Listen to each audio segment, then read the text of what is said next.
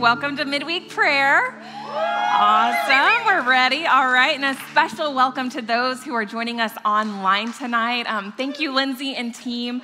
Um, it's just so amazing getting to worship alongside our students, and it's even more incredible getting to sing a song that was birthed from this house. Um, good and Kind is so good. Um, so if you've missed it over the past couple Sundays, um, you can actually get the new songs on the Connect Church app, or you can scan this QR code. We hope they bless you in your personal worship time, so help yourselves to that, please. Um, for those of you who don't know me, my name is Logan Hadaway, and I have the honor of serving on team here at Connect. Um, Pastors Devin and Ashley are traveling tonight with some of our overseers. I'm doing some work on a work trip, so I have the privilege of speaking with you guys tonight. But before we dive in, I just want to take a moment and thank Pastor Devin and Ashley for this opportunity. And I would love it if you guys would just join me and letting them know how much we miss them and we love them and we can't wait to hear all about their trips when they get back. Yeah. So, if you're new to midweek prayer, here's how it works we start with worship to express gratitude to God, followed by a short teaching on prayer or something that inspires you to pray. And then we're going to have personal prayer time, and then we'll come back together at the end and corporately pray for our weekend services. So I'm going to pray real quick, and then we will jump in. Father God, we just thank you for your presence in this place tonight. Lord, we acknowledge that you are good and kind, Lord, and that your word is truth. Father, we ask that you would be with us as we learn from your word tonight, Lord. Thank you that you are faithful to meet us when we seek you earnestly, Lord. Thank you that you speak to us through your word. Lord, I pray that you would increase and that I would decrease and that you would use my mouth to speak the things that you want your people to hear tonight, Lord. We love you and we praise you. In Jesus' name, amen. All right. So, over the last couple weeks, I've been praying about what God wanted to share tonight, and I landed in Exodus 12, which happens to be the details of the first Passover. And coincidentally, or maybe not, uh, this Sunday we're actually going to be taking communion corporately together. Um, so I got really excited um, because communion and Passover are deeply connected. Um, so, tonight I wanted to share a bit of the cultural context behind Passover and how it ties into communion today, how it matters for us. So, for anyone not familiar um, with this account, Passover is when God brought the children of Israel out of Egypt after sparing their lives from a plague that would take the lives of the firstborn son of every person and animal in Egypt. And it's one of the most pivotal events in the Bible. It marks the beginning of God's direct dealings with Israel, transitioning from individuals like Abraham, Isaac, and Jacob to the formation of a nation. The sheer magnitude of this moment is underscored by the fact that nearly 95% of the Bible focuses on events that took place after the Passover, while only about 5% focus on what happened before it. In fact, God commands the Israelites after they leave Egypt to observe the Passover every year to remember what he has done and what he promised to do. So, why is Passover such a turning point and why is it relevant to us? As we prepare for communion this weekend, it's important to understand its roots. That's because Jesus established communion during the Last Supper, which is a Passover meal we see it in Matthew 26, 28. For this is my blood of the covenant, which is being poured out for many for forgiveness of sins. Some translations would say new covenant. Jesus fulfilled the prophetic elements of Passover, creating a new covenant through communion. So, to understand this, I want us to look at Exodus 12 and see where it all started. This is actually our SOAP reading for today. So if you're newer here, we have a scripture reading plan called SOAP. It's scripture, observation, application, and prayer. Excuse me. And it's how we just encourage each other to stay engaged with scripture throughout the week. So you can grab a guide today. We've got them out in the lobby or online. All right, so Exodus 12. The Lord said to Moses and Aaron in Egypt, This month is to be for you the first month, the first month of your year. Tell the whole community of Israel that on the 10th day of this month, each man is to take a lamb for his family, one for each household. The animals you choose must be year old males without defect, and you may take them from the sheep or the goats. Take care of them until the 14th day of the month, when all the members of the community of Israel must slaughter them at twilight. So, in Jewish tradition during this time, families would bring a Passover lamb into their home. This lamb wasn't just a random animal, it became a part of the family. It lived with them in the days leading up to its sacrifice. Can you imagine that? Like, lambs are cute, y'all, and you're living with this thing. The family would get attached to it. The children are probably naming it. They're feeding it table scraps. And by the end of the week, the sacrifice was no longer abstract, it was personal. It cost everyone in the family something. The lamb started out with inherent value because it's one of God's creatures, but it becomes precious and personal due to proximity, time, and care. And the same is true about our relationship with Jesus. We should have a personal connection to him as our Passover lamb. Communion should never be taken casually. It's not a ritual, it's a remembrance of the sacrifice, an innocent lamb, Jesus, who died for our sins. So now we get to verse 7 of Exodus 12. Then they are to take some of the blood and put it on the sides and tops of the doorframes of the houses where they eat the lambs. That same night, they are to eat the meat roasted over the fire along with bitter herbs and bread made without yeast. Do not eat the meat raw or boiled in water but roast it over a fire with the head, legs, and internal organs. Mm. Do not leave any of it till morning. If, if some is left till morning, you must burn it. This is how you are to eat it with your cloak tucked into your belt, your sandals on your feet, and your staff in your hand. Eat it in haste. It is the Lord's Passover. So, if you're anything like me, when you get details like these in Scripture, uh, at first glance, they can seem like oddly specific. Um, why the door frames and not the roof? Wouldn't that be easier for the death angel to see when it passed over their homes if it was on the roof? If they're preparing to leave in a hurry, uh, which is why they're instructed to only eat bread that has no yeast, they didn't have time to let it rise before they baked it. Wouldn't boiling the meat go faster? Isn't it crazy how we think we know better than God? So when I read this, I'm like, hold up, God, Lord of all creation. I think there's a more uh, logistic, better way that would make more sense to do this. Maybe we should just time out and think it through again. But God is in every single detail of His word.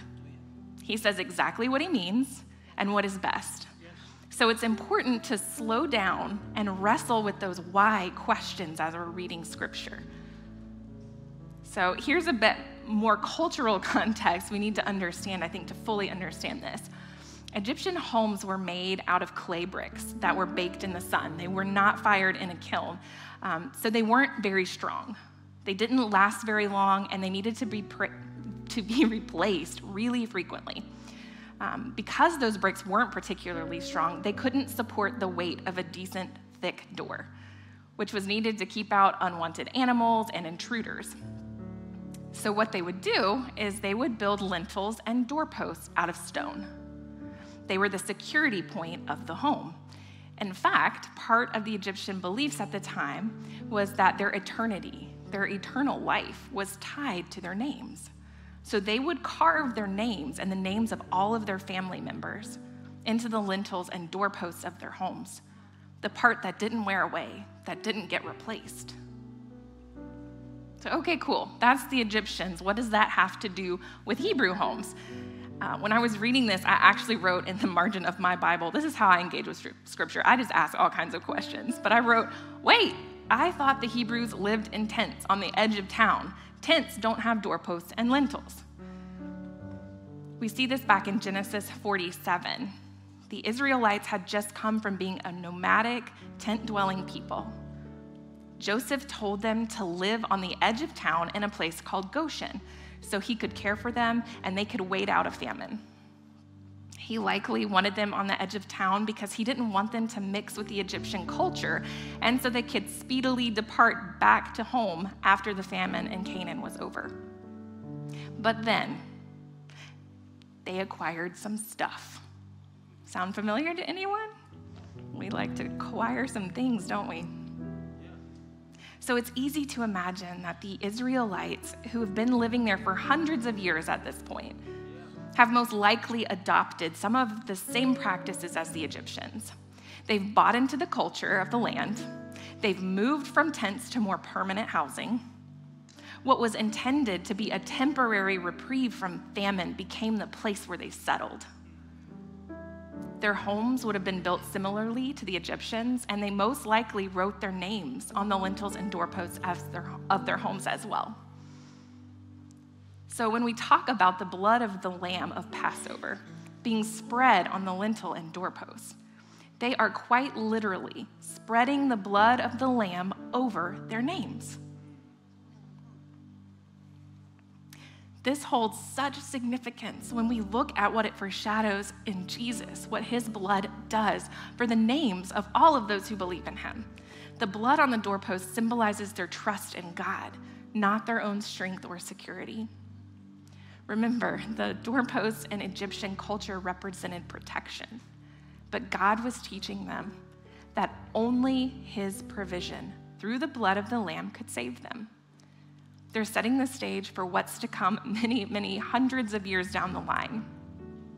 To take it a step further, at the time of the first Passover, lambs were considered sacred in Egypt. It was unimaginable that you would sacrifice a lamb for anything. In fact, back in Exodus 8:26, when Pharaoh was telling Moses that he could just stay put and make sacrifices to their God without leaving the city, Moses says this it would not be right to do that because what we will sacrifice to the Lord our God is detestable to the Egyptians. If we sacrifice what the Egyptians detest in front of them, won't they stone us? We must go a distance of three days into the wilderness and sacrifice to the Lord our God as he instructs us. So, back in Genesis 46, when the Israelites moved to Egypt, Joseph instructed them to tell Pharaoh that they are shepherds, so that he will force them to live on the edge of town apart from the Egyptians. It says in Genesis 46 when Pharaoh addresses you and asks, What is your occupation? you are to say, Your servants, both we and our ancestors, have raised livestock from our youth until now. Then you will be allowed to settle in the land of Goshen, since all shepherds are detestable in Egypt. You see, sacrificing a lamb was no small act. It took courage. Remember back in Exodus 12 9, where the Israelites were told to roast the meat and not to boil it? You could slaughter a lamb out back of your house, get rid of the blood, and bring it inside to boil it relatively quietly. I know that feels weird to us because none of that seems easy to us, but to them, it could have been done. But to roast an entire lamb required a big fire. That means cooking it outside or you'd burn your house down. So we go from this fear of being stoned over sacrificing a few lambs to every family taking a lamb. That's over 250,000 lambs by many historians' estimation. And then roasting the entire thing, which takes hours, by the way, out in public, and then smearing the blood on their doors. So you read that, or maybe it's just me. And that seems absolutely insane. It just seems insane to us. But this was a very public, risky, intentional declaration that they were trusting in God, not the strength of their own hands or culture. It's like God, when He gave them the order to sacrifice lambs, was asking them to cut all ties, to burn some bridges to the ground, as if He was saying, Pay attention when this is all over, you can never come back here. Why? Because God knew their hearts. He knows our hearts. He knew that they were going to spend 40 years in the wilderness after the Exodus and that they'd make it, oh, all of about two weeks before they wanted to go back to Egypt. He needed there to be a physical break to prevent them from going back while he did a spiritual work of freeing their hearts. So, hey, what are the things that you need to break off so that he can do a work in your heart? Things that you need to physically say, nope, I'm not going back there. I can never go back there. You see, God was slowly turning them to no longer see security in physical doorposts, but in eternal, internal ones. Hebrews 8:10 puts it this way in the message paraphrase, and I love this. Heads up, the days are coming when I'll set up a new plan for dealing with Israel and Judah. I'll throw out the old plan. I'll set up I set up with their ancestors when I led them by the hand out of Egypt. They didn't keep their part of the bargain, so I looked away and let it go. This new plan I'm making with Israel isn't going to be written on paper, isn't going to be chiseled in stone.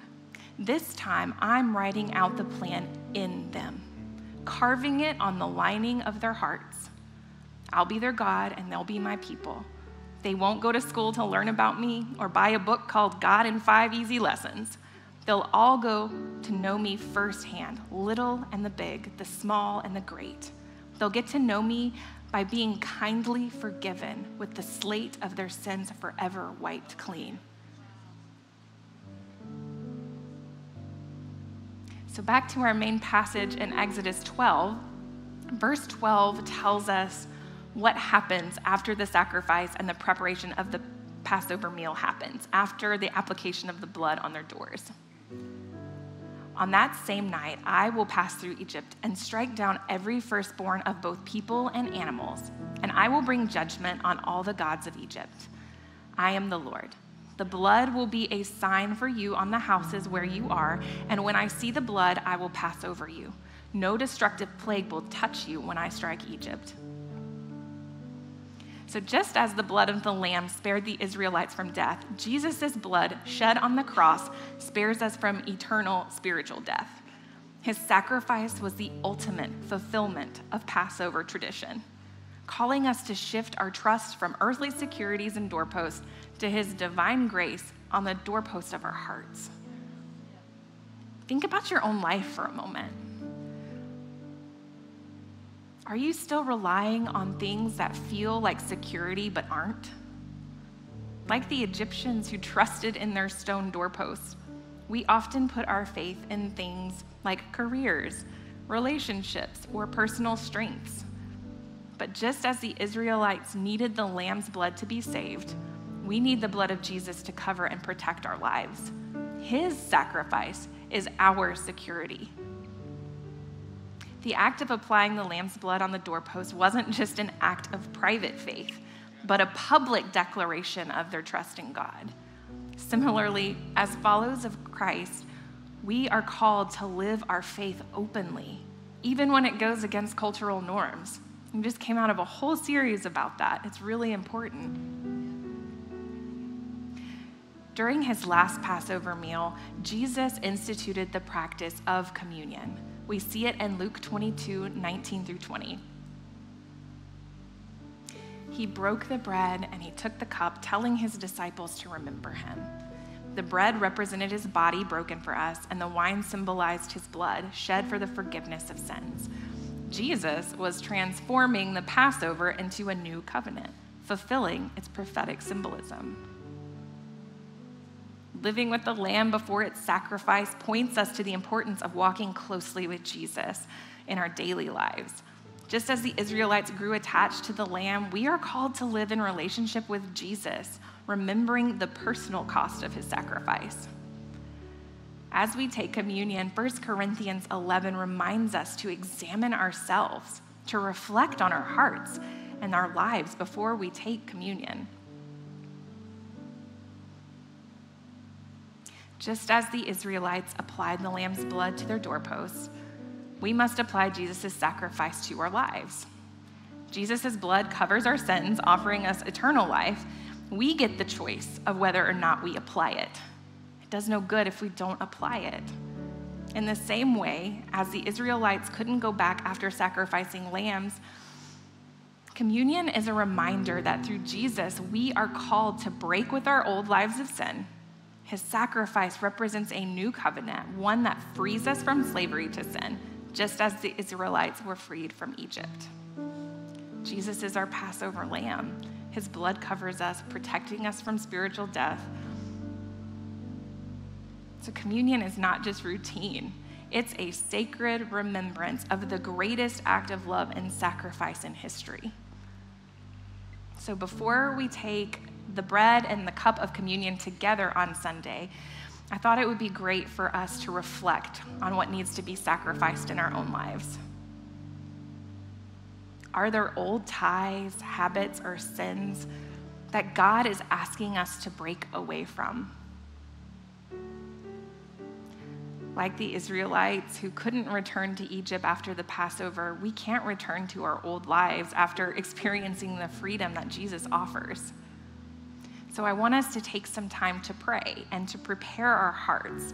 Um, like I mentioned before, we're going to be doing corporate communion on Sunday, but we also have it available for you here at the altar. If you would like to take communion individually tonight, we definitely encourage that. Um, we have prayer guides available for you as well, and we'll have music playing so you can feel free to pray out loud. You can pace, you can come to the altar, whatever makes you feel connected to God. As long as it doesn't distract other people, we're here for it. Um, so we would just like to let you guys take some time to pray together, and then we're going to come back and close out together here in just a few.